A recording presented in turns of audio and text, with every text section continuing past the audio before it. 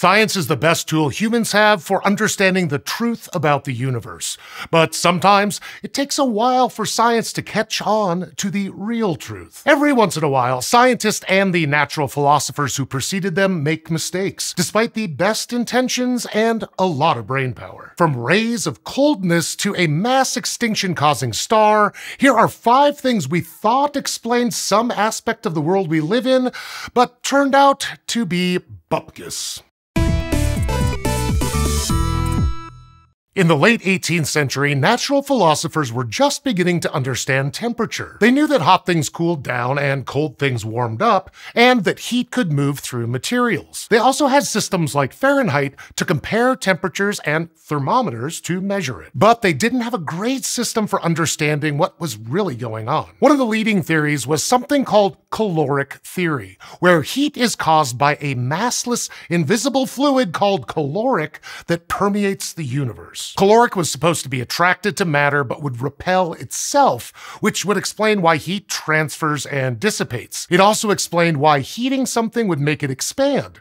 The caloric was pulling the atoms apart. But in the 1790s, a Swiss man named Marc Auguste Pictet performed an experiment that got people thinking about coldness in a similar way. He placed two concave mirrors at opposite ends of a room, then put a thermometer at one mirror's focal point and a container of snow at the others. As a result, the thermometer recorded a drop in temperature. Now, this was a pretty common experimental setup to study something hot.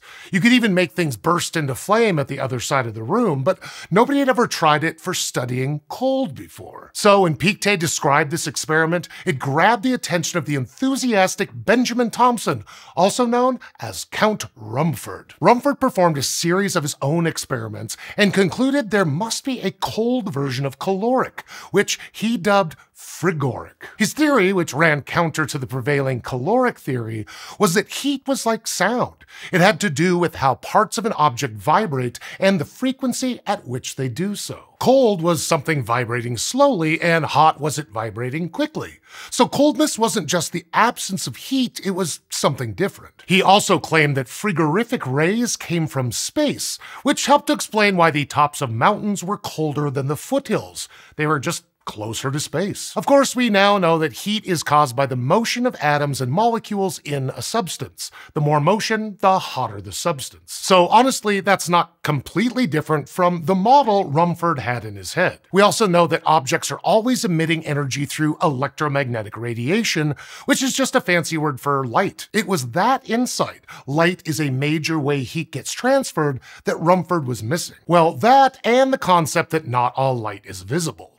There is neither caloric nor frigoric, and the kinetic theory of matter started taking the place of these theories in the mid 1800s. But if frigoric wasn't the solution to Pictet's mirror experiment, what was? What you need to remember is that everything is emitting radiation all the time, including the thermometer. Without the mirrors, Pictet's thermometer would absorb radiation from all the objects in the room pretty evenly and display a typical room temperature. But when you put a mirror right next to it, the mirror effectively blocks a good chunk of the radiation that would be coming from the rest of the room, somewhere between a third and a half, and replaces it with the radiation from whatever is at the focus of the other mirror. If something hot is at the focus of the other mirror, then the thermometer receives a lot of radiation and displays a rising temperature. But when there's snow at the other mirror's focus, the thermometer receives much less radiation than it would from the rest of the room. It begins to radiate more heat than it receives, which is why the temperature drops. Even though we have theories that explain exactly what's going on,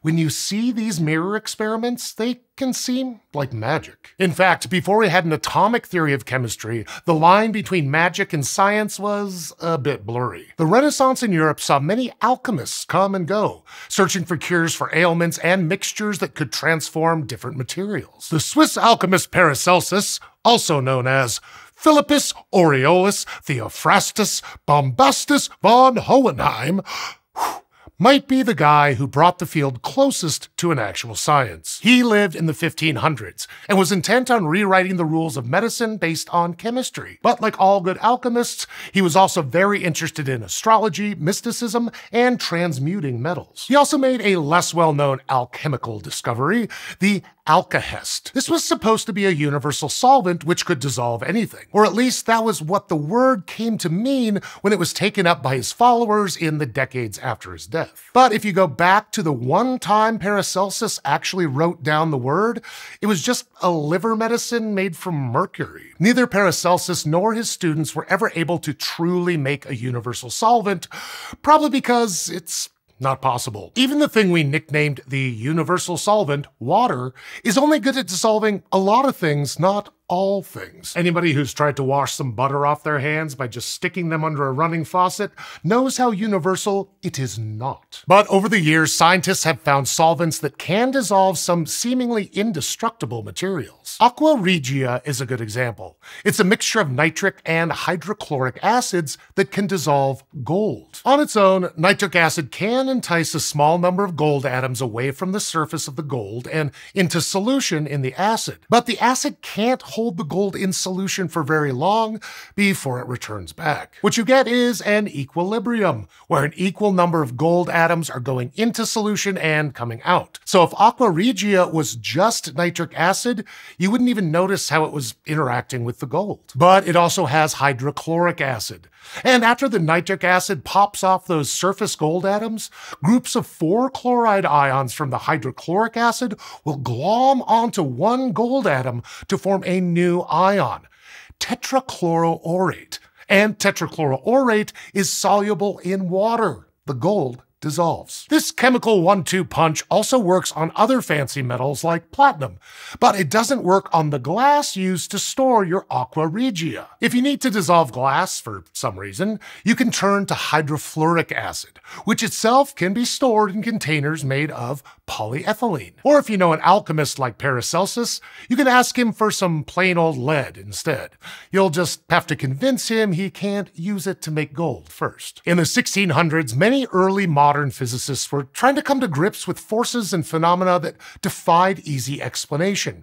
Gravity, magnetism, electricity, light, whatever it is that keeps atoms together. And one explanation they kept bringing up was tiny invisible particles, often referred to as corpuscles. Robert Boyle used corpuscles to explain how different kinds of matter, say a lump of gold versus a lump of cheese, displayed different properties. Their corpuscles simply had different shapes and were arranged differently. Meanwhile, Isaac Newton thought that light was made of corpuscles, which is why rays of light could bounce and be bent and the different colors of light were just different sized corpuscles. Eventually, after Newton got his sticky physics hands all over gravity, Georges Louis Lesage came along and built a theory of gravity around corpuscles. He proposed these particles traveled quickly through space but slowed down after hitting something. To Lesage, this explained why large bodies like the Earth and the Moon attract each other. Both the Earth and the Moon are constantly getting hit by maximum speed universe corpuscles from all directions except from the sides that face each other.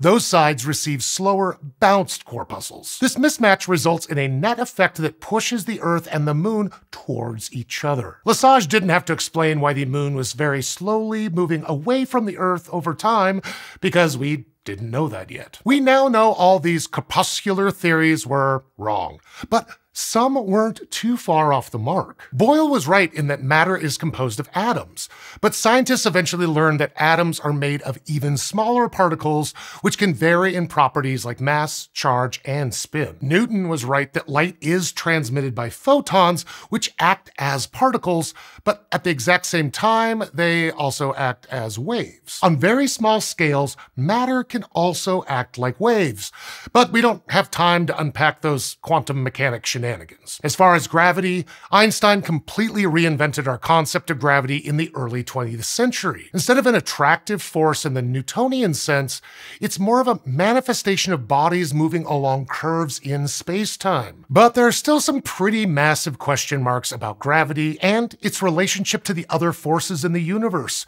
And some scientists are still on the hunt for hypothetical particles called gravitons. While physicists try to explain the fundamental workings of the reality we live in, biologists have struggled with the same fundamentals of living itself. What differentiates the living from the non-living? One quick answer is that living things can move on their own accord and seem to be good at bringing order out of disorder. They create complex structures like cells and organs using raw materials like sunlight, water, or the cells of other living things that they consume. But what puzzled biologists was that this ability to create order doesn't make a lot of sense when you think about the second law of thermodynamics. Entropy, often described as a measurement of disorder, should always be increasing. So many scientists from the 1600s all the way through to the early 1900s came up with theories about some kind of stuff that gave living things the energy to counteract thermodynamics,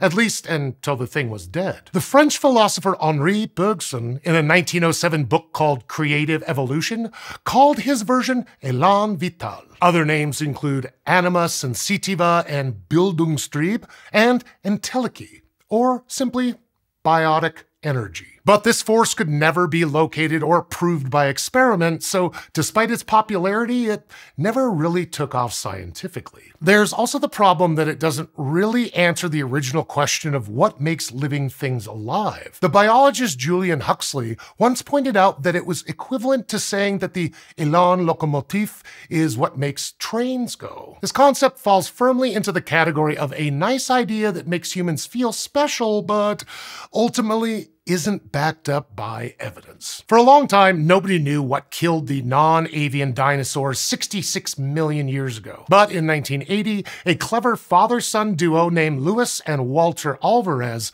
published a controversial new theory. A layer of iridium in the soil, found all around the world and in just the right part of the geological record, suggested it was an asteroid impact that did the dinos in. But that's not all. There was another layer of iridium dated to be 31 million years younger that corresponded to another mass extinction in the fossil record. These discoveries spurred another group of scientists to look at the fossil record, where they found that mass extinctions tended to happen every 26 to 30 million years. To explain that regularity, they proposed that there must be a small companion star to the Sun orbiting way outside the orbit of Pluto. Every 26 to 30 million years, its orbit would take it through our solar system's Oort cloud, tossing a pile of comets into the inner solar system. They dubbed this star Nemesis, after the Greek goddess of retribution. It was controversial at the time. Detractors argued that the whole periodic mass extinction thing